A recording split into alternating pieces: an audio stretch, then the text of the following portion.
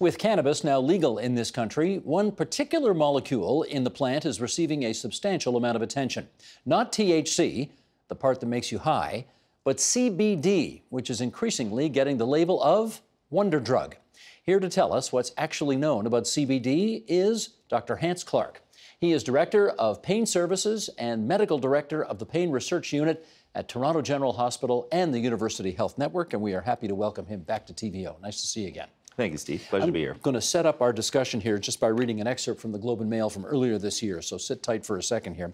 CBD, which can be derived from hemp or marijuana, has been popping up over the past few years in everything from mineral water to vape pen cartridges amid intense hype and some emerging scientific evidence that it is a wonder drug able to help combat a range of ailments from joint pain, insomnia, and seizures to anxiety. There's one problem CBD is strictly regulated just like cannabis. Only licensed producers may make it, and only registered retailers may sell the products. The legalization of marijuana on October 17th did not change anything. However, many consumers and even merchants believe it is legal because, as proponents of CBD point out, it does not cause intoxication, unlike the other well known compound in cannabis, tetrahydrocannabinol, THC. Okay, so that's the background. Let's get into this now. What is CBD's relationship to cannabis? Okay, uh, Steve, great question. So, you know, CBD is just one of many ingredients in this cannabis plant, and uh, uh, CBD in particular has uh, a what we call it's a bit of an allosteric modulator. So for you know for the what for the for the public, it basically antagonizes the effect of THC at your CB1 receptor. So it has an opposite effect of what THC would have. So the effect of THC is to make you kind of high and happy or chilled or whatever the reaction is. Right. So you know, it, it's it's a it's a CNS depressant, so it reduces the firing of the nervous system. One of the side effects of that is this feeling of high or or euphoria, and we know that when CBD is also at that receptor site, that it modulates how high you get or antagonizes that effect, so to speak. Anything harmful about it that you know? Of, of CBD? Well, Yes. you know, any anything in excess can be harmful. And so, you know, one of the things that I think really needs to be um, understood a bit better by the Canadian public is the concept of how you dose this molecule. When you look at the, you know, the scientific studies to date that have shown some of those effects in epilepsy and some very high quality uh, trials that landed in, uh, you know, the big journals like JAMA and, and Lancet and these in these areas, CBD uh, at 20 milligrams per kilogram at times was able to reduce seizure thresholds. And so that's a very high dose. Think about an adult who is 70 kilos trying to consume that dose. We know that that dose probably is going to have some liver effects. It, it- it's not. It's uh, we've seen uh, individuals have bump bumps in their liver enzymes, which shows a, marker of problems of the liver uh, metabolizing this drug. And so, you know, there's a, a big gap between what we think we should be using or consuming and what the public believes it does, and how we safely do this. And I think those are things that we have to really iron out over the next five or ten years. How does one ingest it? Great question. So I, you know, I heard you just uh, tell the public all about the different forms that are out there. The two legal forms of ingesting CBD are still the plant product, an oil product, or capsules. Those are what our licensed producers are allowed to sell to the public. So any other form at the moment doesn't have a legal framework. Vape sticks. I understand that they are now putting it in some vape sticks. Does that cause you any concern? Oh, I I mean, absolutely. So again, what are you actually consuming? What is what is the constituent of that oil? The other issue that I think many people don't understand is this issue of decarboxylation, or cleaving the molecule so that you have an active form to consume. The more active your oil is, the more you can see the effects. But the question is, what are those effects that you're looking for? What are the symptoms you're trying to treat? Because theoretically, that's why you would gravitate towards the plant or towards the product to help treat some symptom that you're uh, hoping to, uh, you know, make better. Are you prepared to go so far as some are in calling this a wonder drug?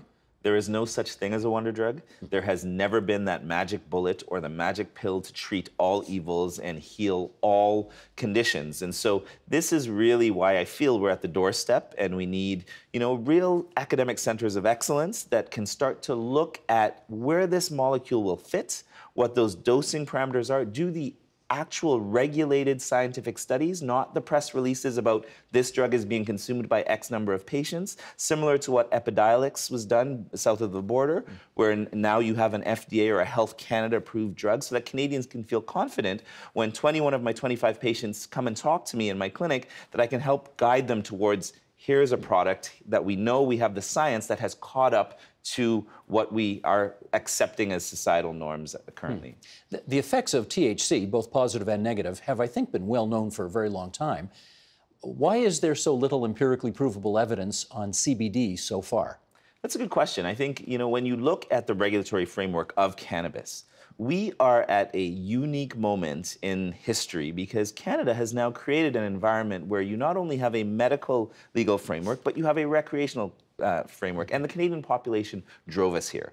So we have the opportunity now to lead the globe and to lead this, you know, scientific move forward and give people credible information. And so we've only been for, you know, five years into a medical, legal, a true legal framework. Yes, it's been available since 2000 and since 2000, but in 2013 was really when that shift was made, and in 2018 is when the cultural shift is made from an acceptance perspective. But it's the first time that a drug has pre preceded science into acceptance. Hmm. And now it's time for science to catch up, and that is the opportunity that's in front of us. If you don't want, and I get it, a wonder drug is not exactly a scientific term, it's a, it's a media term, it's a showbiz term. But if you don't want to call it a wonder drug, what colloquial expression would you use to describe it? I would say, uh, you know, CBD is a molecule like any other molecule. I said colloquial. No one says molecule in colloquial English. So, you know, here's what I would say. It's a drug that can help you with specific conditions, but we don't know exactly where its maximal benefit is. We have good evidence in epilepsy, as I stated. There's some reasonable evidence in chemo-induced nausea and vomiting for drugs, molecules like Sativex, which is a plant-based CBD and THC extract. Hmm.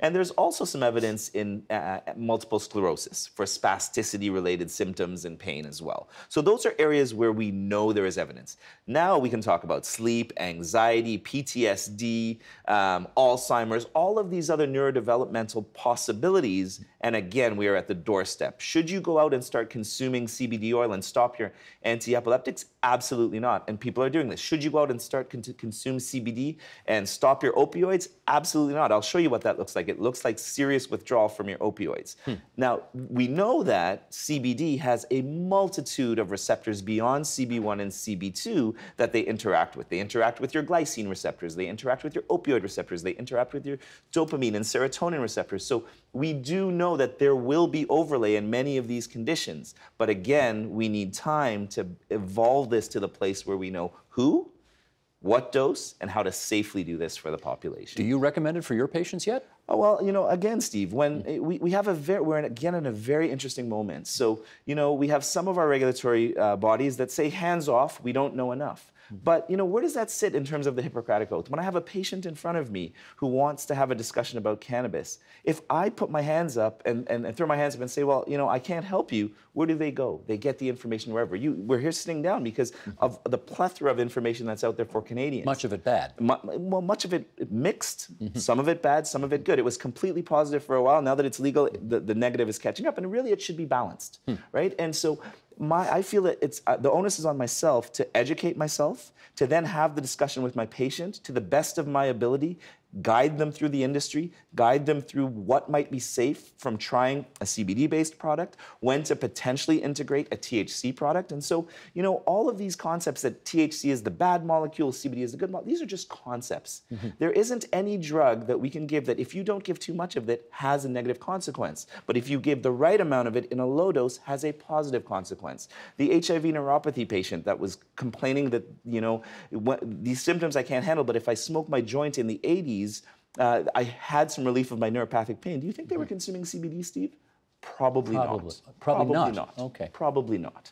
And so again, we need we need a, a, a, solid regulatory framework to take these drugs from where they are today to where the public can start to be reliably uh, convinced about them, and really the you know the physician culture can also start to understand this the way we know how Um, and again, that'll only come through science and, and R&D development. Well, is science and uh, is research and development leaping on this yet? Oh, absolutely. So I, I think you know you've seen uh, multiple centers popping up. We're working one at uh, the University Health Network as well, a, a big uh, academic consortium, potentially partnering some of what we have from an academic standpoint with industry, and we're looking to launch some big initiatives, even potentially with some uh, pharmacy chains over the next while. So I, I think you know we're moving towards more acceptance and having a credible voice start to lead this, I hope, uh, over the next five to 10 years. But to be clear, no, but, or maybe can you? Can you tell us at what, how much confidence do you have making a recommendation about the appropriate dosage where this stuff works? So here we go. I mean, you know, what are people consuming? So I'll just tell you many anecdotal stories. Patients come into my office and I have rheumatoid arthritis. I've been on my, you know, biologic medications. There's been some failure. Uh, you know, my cousin brought me this product from Colorado, and I take half a mil under my tongue three times a day. And you know what, doc, it's not doing anything for me. So I pick up the bottle. It has maybe three milligrams per mil, some really low, almost homeopathic dose of the drug that they've spent $200 for.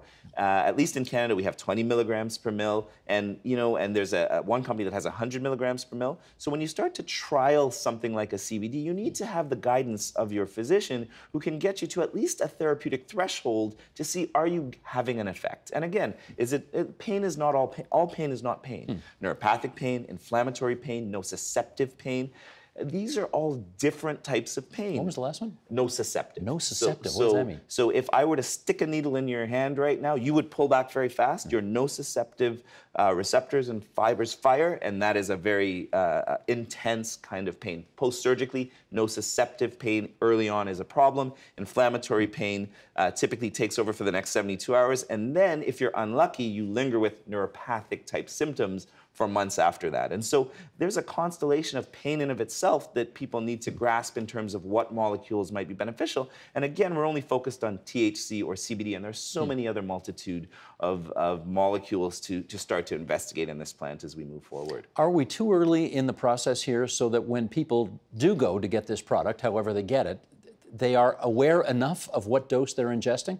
No, and, and, and that's another issue. So, you know, what is a trial? And then, you know, what is the cost of this medication? Mm-hmm. And so, you know, a little bottle of 60 mils is about $100 for a patient. If I were to tell you to take 200 mils a day or 200 milligrams a day, that's probably, you know, let's say if it's 25 milligrams, it's maybe eight mils a day. Mm-hmm. Every 10 days, you might need another bottle of, of this potential CBD oil that may be beneficial. And that's not a cheap outlay for the average, you no, know, individual. That would not be on the formulary patients yet, struggling with, absolutely, yeah. especially patients struggling with pain who are already mm. struggling just, you know, with their life typically in general mm-hmm. to add that to this. So I, it's very hard to think that many people, even when they trial this, get to a dose that is potentially meaningful for an effect that they're looking for. In which case, it is, it is legally purchasable today, though, right? At licensed vendors, it is legally purchasable. Could purchase this through the Ontario Cannabis Stores, any regulated legal entity from the recreational perspective. If I, as a physician, give you a authorization, we don't prescribe. There is no DIN, and that's what we're talking about: getting a potential drug investigation number for one one of these products. If we do it correctly and take it down the regulatory uh, pathway. Uh, and so if I wrote you an authorization form, you could then approach any one of our 180 licensed producers now in this country that has a license from the government to sell you that you could then get a product from. Now, is each licensed producer producing the same product? Absolutely not. And so, mm-hmm. you know, if you want to talk about really where we need to move to for protecting the public, we need to understand what are going into these bottles, what are going into the, you know, the the the the the, the, bottle or the canister that you open that has your plant. We need a, you know, a system to barcode to understand, you know, yes, you got X product, and this is actually what the product is. There is no other industry where that doesn't occur. I can't authorize something for you and you get something other than what I intended for you. And so, you know, this is really uh, we have a lot lot of um, positive moves ahead of us in terms of getting to where we want to be with these products. So for CBD, this truly is the dawning of the age of Aquarius. We're just at the beginning here, right? We are absolutely at the beginning. Do you like that little 60s reference I, there? I absolutely yeah? do. I absolutely do. Uh, we always appreciate your visits to TVO because we're so much smarter after uh, we spend 15 minutes with you. So thanks a lot. Thank you, Steve. Dr. Great. Hance Clarke, Director, Pain Services, Toronto General Hospital, and the University Health Network. The Agenda with Steve Paikin is brought to you by the Chartered Professional Accountants of Ontario. helping businesses stay on the right side of change with strategic thinking, insightful decisions, and business leadership. Are you on the right side of change? Ask an Ontario CPA.